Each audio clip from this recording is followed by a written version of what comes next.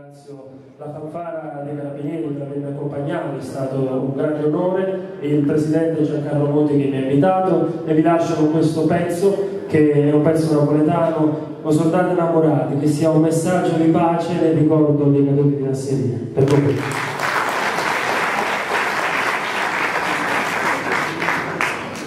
E ve la canterò dal vivo.